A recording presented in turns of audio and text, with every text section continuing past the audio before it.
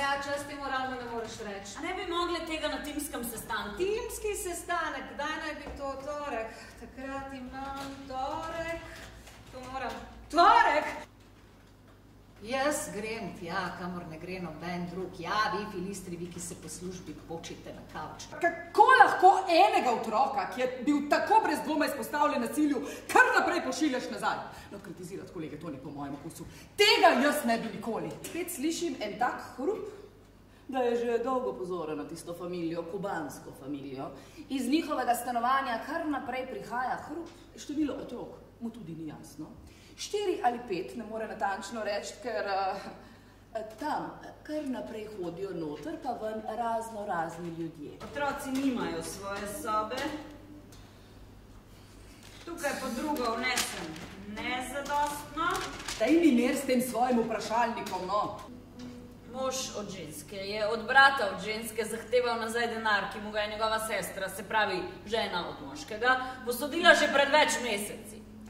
Brat od ženske je trdil, da mu je denar podarila, kar pa je njegova sestra, se pravi žena od moškega, sicer silovito zanikala, česar pa je lastni mož ni verjel in je očital, da bratu stalno posoje denar, ki ga ta ne bo nikoli vrnil.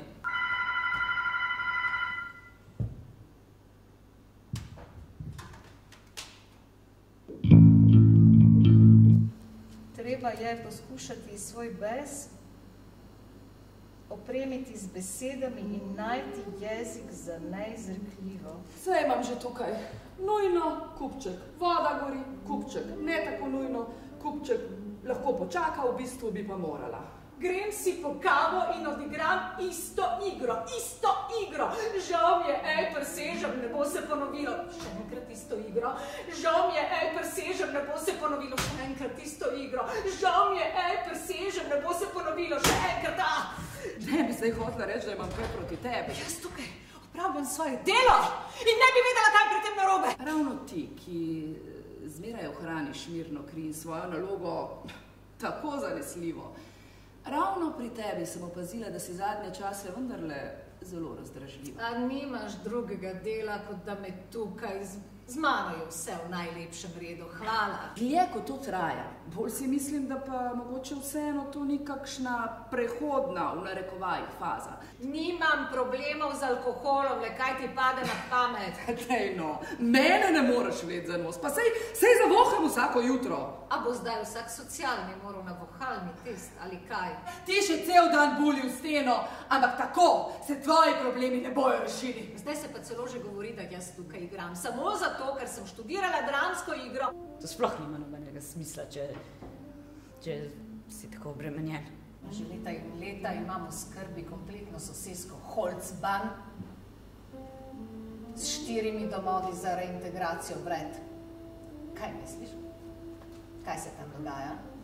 Tudi jaz sem v življenju podpisala že veliko zahtevkov, med drugim zahtevek za podaljšanje začasnega bivanja in to bi v bistvu moralo. Vaš vse stransko, tako cenjeni kolega je za gospoda očeta podpisal pozitiven razvoj in njegov osebni zdravnik prav tako. Moj cenjeni kolega, on že mesece in mesece ni bil več sposoben, bolan je bil bjern.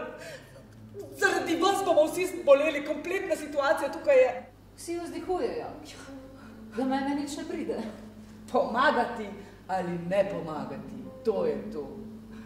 Daj, Silvija, ti si naš največji umetniški talent, ki nam je po Björnovem odhodu. Daj no, vsem nam boš rešila življenje.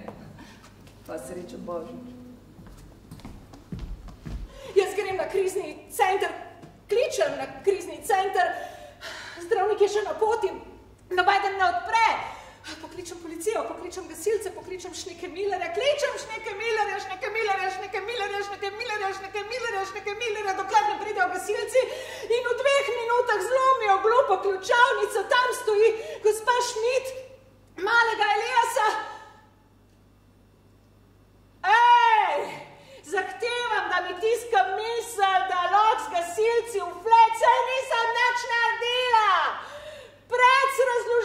bo meni vrata, hej, vse je uničen, vse ste uničen, hej, socialna delovka, kva si misliš, vse je uničen, kompletno vrata uničena, kot da nisem že čistitak, hej, gasilci, pa kva je zdaj to?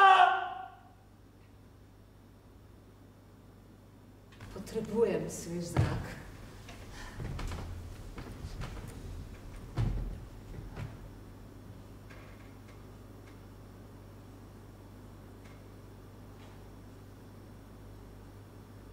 Temno je.